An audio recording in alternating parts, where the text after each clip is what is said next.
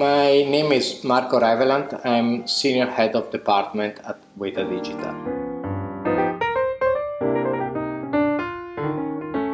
As um, Senior Head of Department, I oversee several departments that gets considered as uh, the pre-production in the post-production world that involve creating models that are the digital models of props, character, digital doubles, and so on and on. Nowadays, visual effects and cinema are really dependent by the development of technology.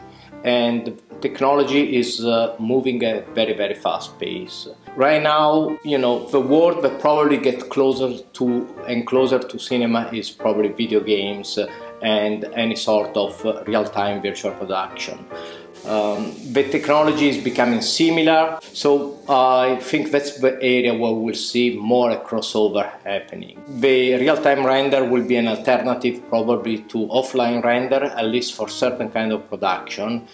That will also reflect in the production uh, itself of traditional movie, where we will be able to provide the background that are elaborated in real time camera movement as well. Something has already been done in the space, but I think it will grow more and more.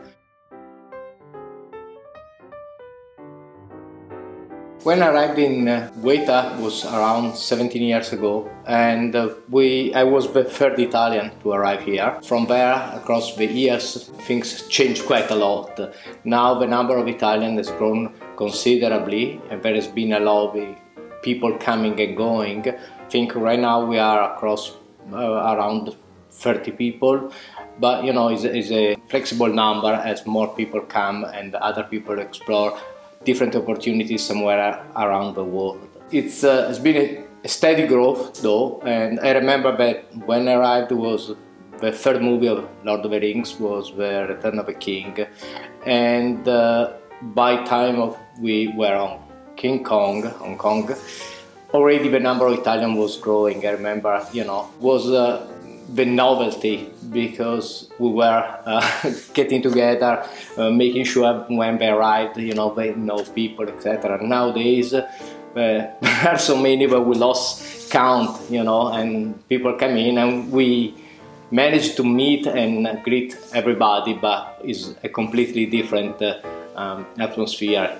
The company also has grown. We are around 1,500 people right now, so it's, it's, it's a big number and uh, a lot of you know nationality as well.